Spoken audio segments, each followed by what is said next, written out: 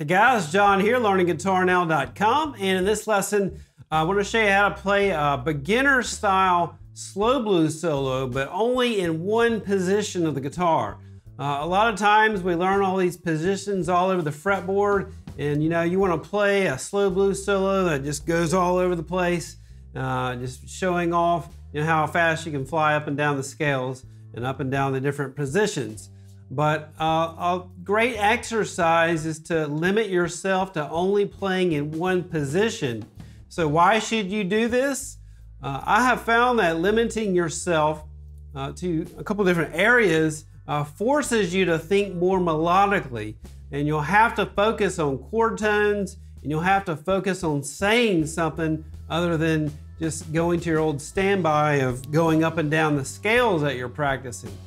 So in this lesson, that's what we're gonna do. We're gonna take uh, the third position pentatonic scale, add a couple notes there. You don't have to stay in the uh, third position minor pentatonic scale, but that area, uh, also known as maybe the BB King little position, uh, makes a great area to play a complete 12 bar or even a 24 bar solo. That's a 12 bar blues. And in this case, we're playing in the key of A. We'll go ahead and take a look at the first few licks for free. And if you would like access to the full lesson, uh, check out the All Access Pass. You'll also gain access to the interactive tab and backing track for this lesson, as well as all the previous podcasts at Learning Guitar Now. Uh, in addition to the podcast, you'll get access to uh, 54 courses I have for playing improvisational blues and slide guitar, as well as quick tip lessons, interactive tabs, lick of the month, and over 100 streaming backing tracks. If you're not really sure how to take your playing to the next level and kind of stuck in a rut, I have developed the All Access Pass to get players out of playing just minor pentatonics and not really sure what and where to go and how to play successfully in a blues setting. Let's go ahead and start this lesson. Okay, now I'm gonna break this 12 bar blues solo down for you into seven separate licks. Let's go ahead and start with lick one. Sounds like this.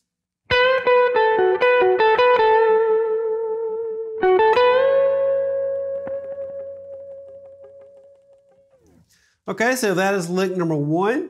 And we're not going to play anything over the one chord, uh, the first uh, little section, uh, the first bar. When the four chord comes in, the D chord, this is a quick change 12 bar blues. We're going to play this lick here. And like I said previously, we're going to play everything right here in between the 10th and the 13th fret. And a lot of times I like to call this the BB King position. That's just a great area to play a complete solo. So lick one, we have this directly in that BB King position. As the first little section, I mean, it's extremely simple. And this is a lesson in restraint, not trying to play thousands of notes. We want to see how much emotional content we can draw from just, you know, playing a very simple solo in one position of the guitar.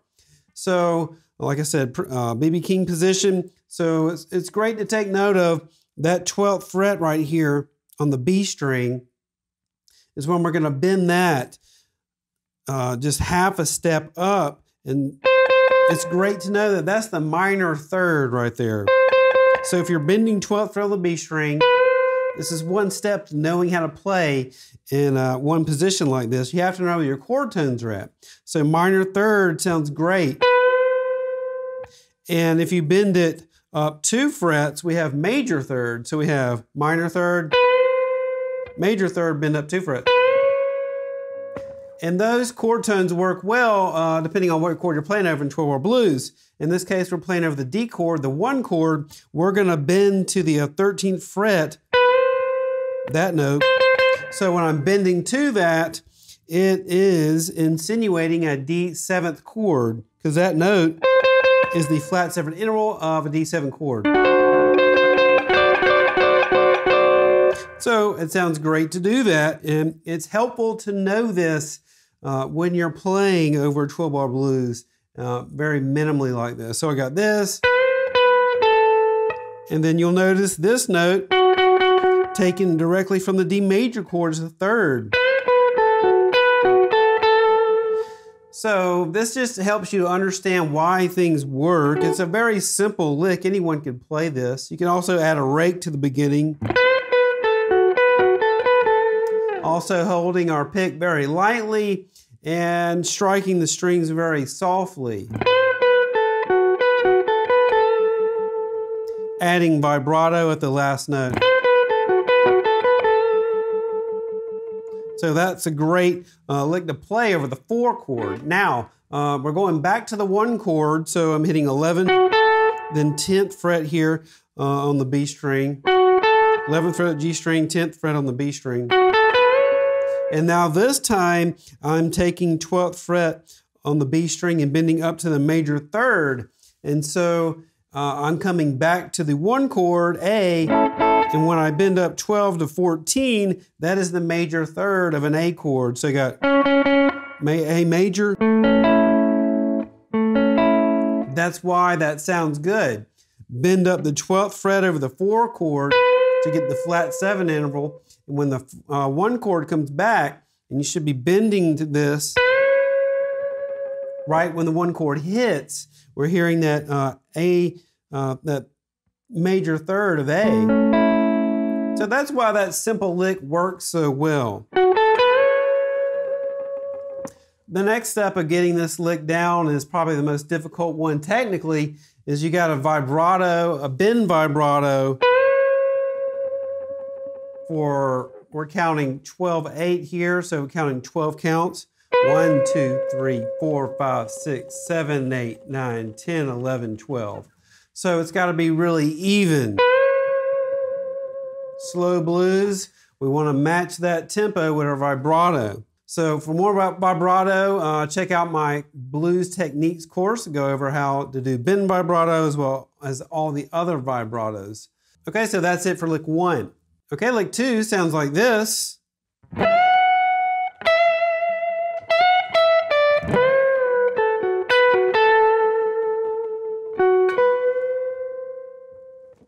Okay, so that is lick number two. And what we're doing is we're still playing over our one chord or A chord. And so I'm bending the 12th fret of the high E string. And you you'll notice I'm bending to the uh, 14th fret. That's two um, steps up. Gives me a major six sound. Move it down an octave. And that little pattern is heavily used by B.B. King, just bending up in the B.B. King box, 12th fret high E string. Two frets up gives you that major six sound. Uh, very cool sounding uh, bend. Pull it down, add vibrato. Now we're to bend it back up, pull it down, 10. Now bend up, uh, 12. Now I'm only to bend up half half step here, one fret, and I'm playing over the A chord. And so that's cool as well. You know, you can also play that minor third, but I'm not sitting on it over a A uh, major chord as well. You don't have to always just play to that bend uh, over the four chord. Simple lick here. Ending on that 10th fret. You have to know in BB King position that 10th fret B string, first finger here, that's your root note, your A note. So slowly we have the first part of this lick.